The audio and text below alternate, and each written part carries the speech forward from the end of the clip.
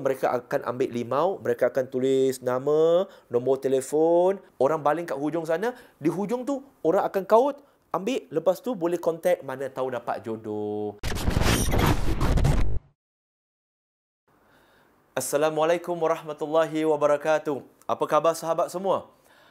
Ramai yang bertanya kepada saya tentang apakah itu tahun baru Cina dan uh, adakah sebagai muslim kita boleh meraihkan dan jikalau boleh, apa pula pantang larang dan tips-tips untuk kita?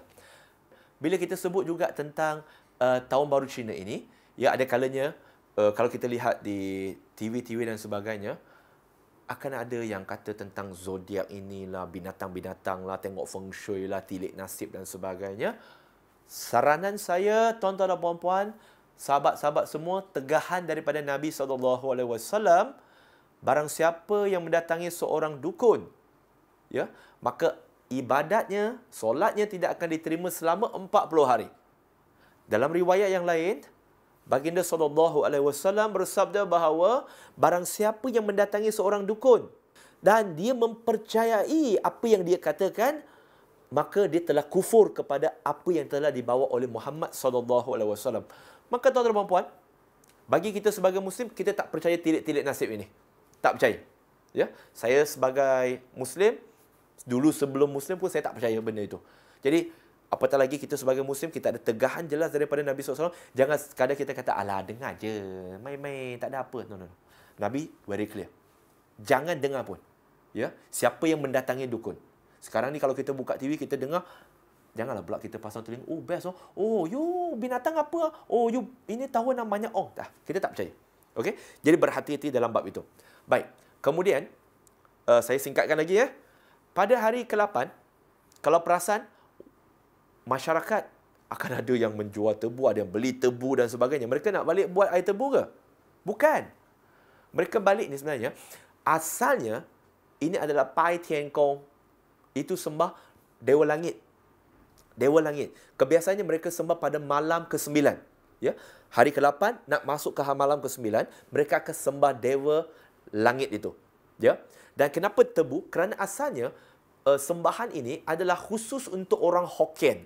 Kerana dikatakan dulu di negara China antara orang Hokkien dengan orang Hakka mereka berperang, ya, mereka berperang dan bila mereka berperang, orang Hokkien ini melarikan diri dan masuk ke dalam ladang tebu dan bila masuk ke dalam ladang tebu dan kemudian orang Hakka tak boleh tak boleh jumpa mereka dah. Mereka terselamat. Maka dari situ simbolik kepada ladang tebu itu mereka gunakan ladang tebu ketika mereka gunakan tebu itu ketika mereka nak menyembah dewa langit ya Tian. Hari ini bukan setakat orang Hokkien je buat. Orang uh, bukan Hokkien, Cantonese, Hakka mereka pun buat. Dan yang terakhir sekali sahabat-sahabat iaitu Cap Gome. Cap Gome. Ah, Cap Ko 15. Itu dalam Hokkien, Cap Ko 15. Cap Gome itu apa benda sebenarnya? sebenarnya tuan-tuan dan puan-puan, cap gome itu adalah kira macam Valentine's Day untuk dalam tahun baru Cina. Valentine's Day bagi mereka. Kerana waktu itu, kalau ikut adat biasa, maka mereka akan ambil limau, mereka akan tulis nama, nombor telefon. Dululah, dulu, mereka akan baling atas pokok ataupun baling bawa dekat sungai. Ya Supaya di sini orang baling, bagi yang bujang, di hujung tu orang akan kaut, ambil lepas tu boleh kontak mana tahu dapat jodoh. Ah tapi dalam bab ini saya nak pujilah ada orang dia agak kapitalis sikit. Orang baling kat hujung sana, dia kaut kat sana, lepas tu dia lap balik nombor telefon tu, dia jual balik dekat orang kat sana. Masya-Allah, zero capital. Ya.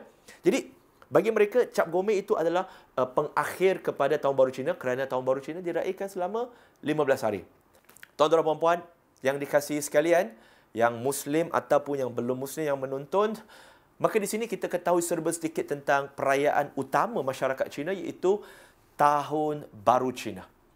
Dan jikalau anda menyukai dan mahukan lebih banyak video seperti ini ya untuk kami hasilkan sebagai informasi kepada sahabat, tolong ya komen, like, share dan berikan feedback anda tentang pendapat anda video ini sama ada informatif ataupun tidak. Jadi Sekian sahaja. Assalamualaikum warahmatullahi wabarakatuh. 祝你们平安。